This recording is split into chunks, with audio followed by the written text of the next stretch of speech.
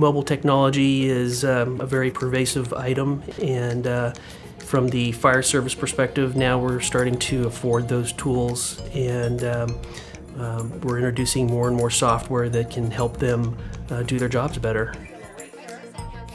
The fire department has always strived to stay ahead of the uh, emerging technologies and the latest programs that will help me as a field incident commander do my job better, manage resources. Ultimately, it's a, it's a great advantage to the uh, citizens of San Diego. Our own fire chief, uh, Brian Fennessy, has decided to dedicate a full-time position in our department just towards looking uh, at emerging technology. That person's sole job is to look at what's out there uh, that can be uh, investigated, used by the department to um, leverage technologies that'll benefit uh, firefighters, fire managers to uh, do their job more effectively. We use tablets, smartphones, PC computers in the vehicles now to bring the technology from the office out into the field to make that information immediately available accessible and updated instantaneously. I think a great um, example of uh, being at the tip of the spear for San Diego Fire Rescue is uh, one of the technologies that we're looking at right now is uh, um, a collaborative software program called Scout. It uh, basically allows many different agencies, many different people to collaborate on, um, on a map. The near real-time tactical mapping allows the incident commander in the field not only by uh, seeing where the units are responding from, the path they're responding, and um, also allows me to give them a heads up on situational awareness if they're in the path of the fire and make sure I keep my crews out in the field safe by actually seeing the apparatus on my map. We use a pretty good weather app. That's the wind. We can turn on humidity. Now I have this on my tablet in the field. We can notify the division that there's been a wind change. We can notify the IC that there's predicted weather, that there's a storm front approaching, if there's lightning approaching for a, a water rescue. We can make those notifications right immediately to the incident commander or to the division where they're working so that information can be shared and it won't be a surprise to them. Wildland plans on uh, mobile devices are a great asset to incident commanders. It gives me a breakdown on how, much, how many resources to order. It shows me evacuation points.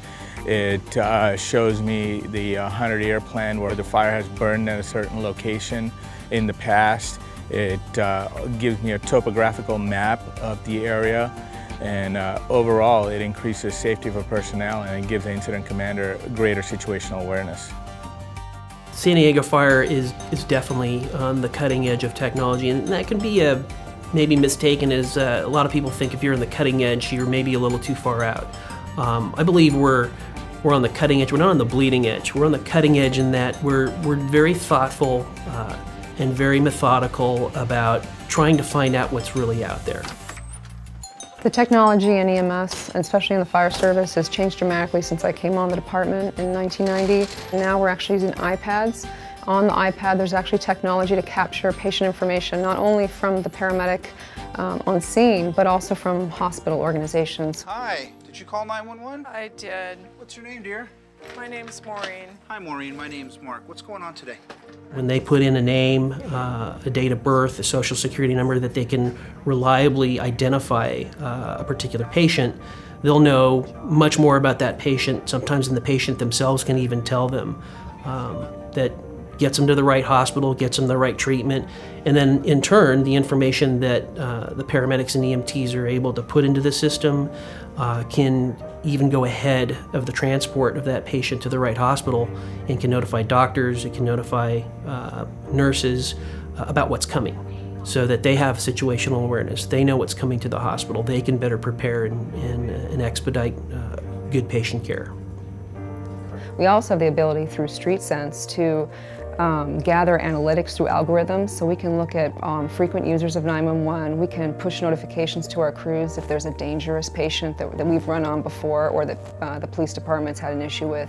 So again, that technology is allowing us to basically drive everything we're doing from data and we're able to use it as intelligence.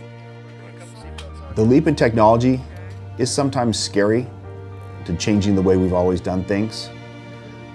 But I can't tell you how much it's going to improve their situational awareness, the safety of their firefighters, the safety of their citizens they're there to serve.